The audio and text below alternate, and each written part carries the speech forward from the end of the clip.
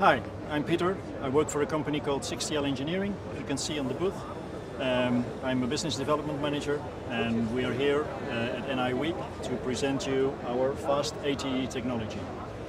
Um, our Fast ATE technology is a modular concept that enables engineers to build up their test systems in a very efficient and fast way.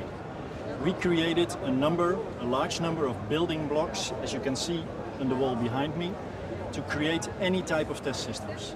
So if we talk about an inline test system, as you see there, the building blocks are transport belt, pusher lift, pusher system, lifter system, uh, a controller, and all these building blocks are independent uh, modules.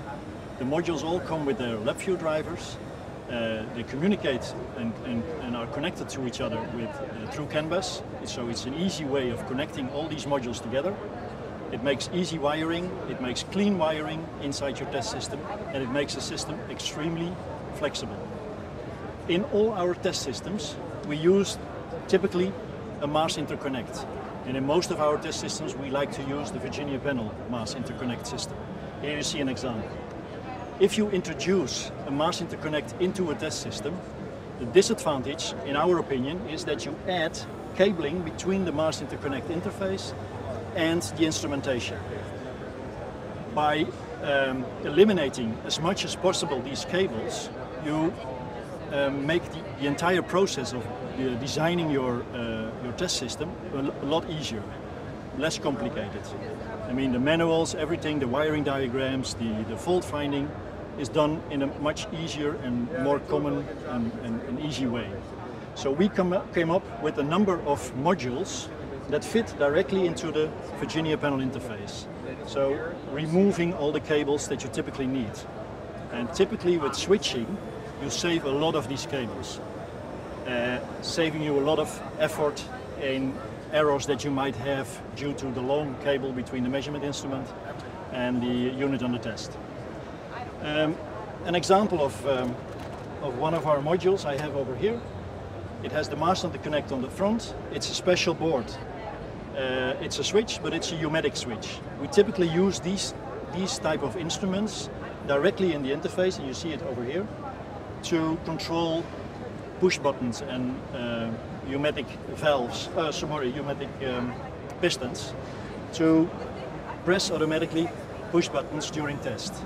So to prevent you as an engineer to go through a catalog and find all these little uh, parts uh, separately, you just insert this into your mass interconnect and you're done.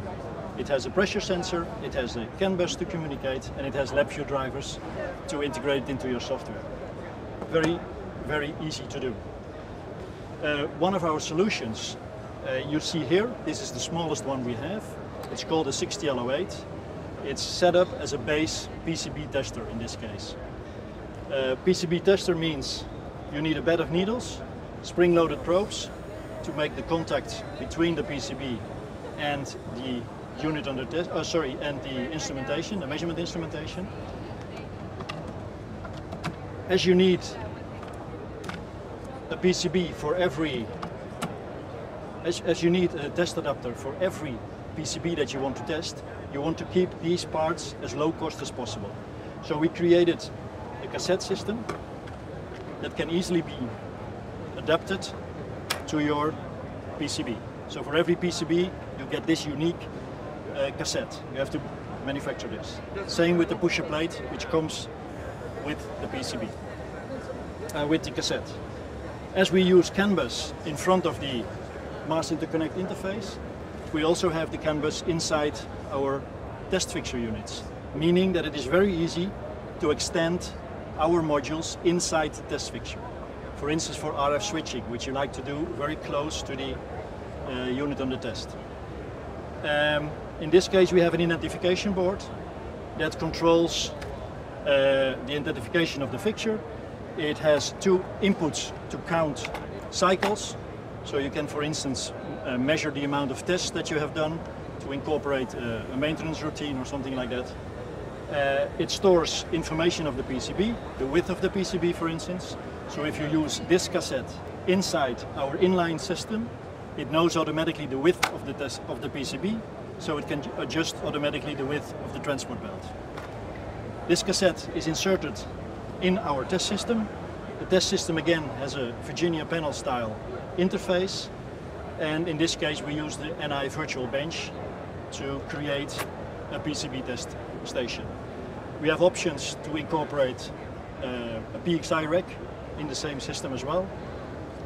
And the way we start testing is engaging, putting the, the cassette in there, engage the interface, close a linear pushing system. It's important to push the PCB linearly onto the bed of needles, close it, and then normally it would run the test program.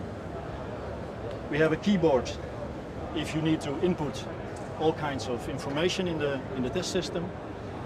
Control, start, stop buttons, emergency stop, everything is here. If you have a piece, uh, PC, PXI rack in here, we have access from the side, so you can easily, uh, for calibration, have access to the, to, the, to the boards, to the PXI instrumentation.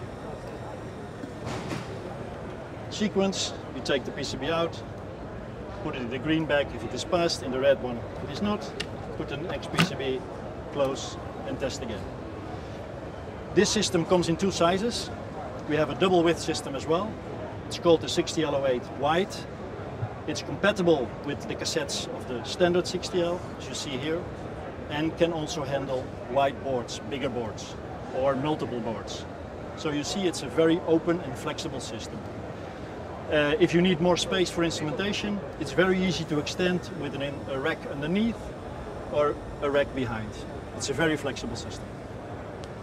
I hope you got the idea.